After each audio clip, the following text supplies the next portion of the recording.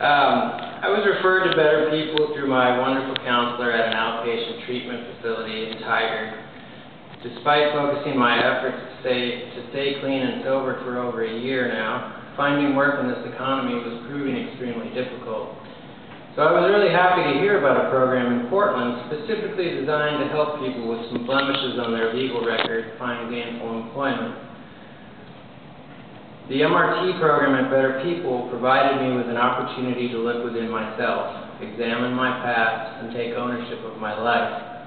The social interaction and subsequent peer feedback gave me additional skills and knowledge to shape myself into a more well-rounded individual. I began this journey by getting honest with myself, recognizing destructive behaviors, changing negative thinking, and focusing on respecting myself and others. The weekly class sessions were instrumental in helping me keep a positive attitude and not getting frustrated with life's trials and tribulations which are always going to be there. Recognizing that there will always be challenging life situations, the MRT program showed me that these things could be easily overcome by managing my time, improving my organizational skills, and setting achievable goals. This has ignited my desire to get out into the, into the real world and participate in society as a productive and responsible person. The MRT program at Better People helped me learn more about what I really want out of life, and more importantly, what I genuinely value in my life. By focusing on keeping faith and honesty a priority in my life, I've learned that I can trust in other people and respect everyone's dignity. This openness has helped me reach out and take the first step to healing some of the financial and emotional damage I have caused to others in the past. I am not alone or terminally unique in this universe. I share common moral values which allow me to live beyond my own immediate actions and reactions, and that gives me the freedom to live life on life's terms.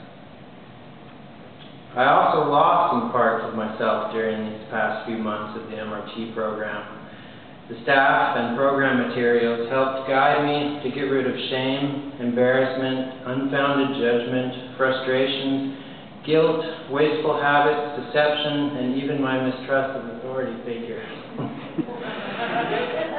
My peers helped me, helped by providing me with honest and heartfelt confrontation that challenged some of the core values I never took the time to examine.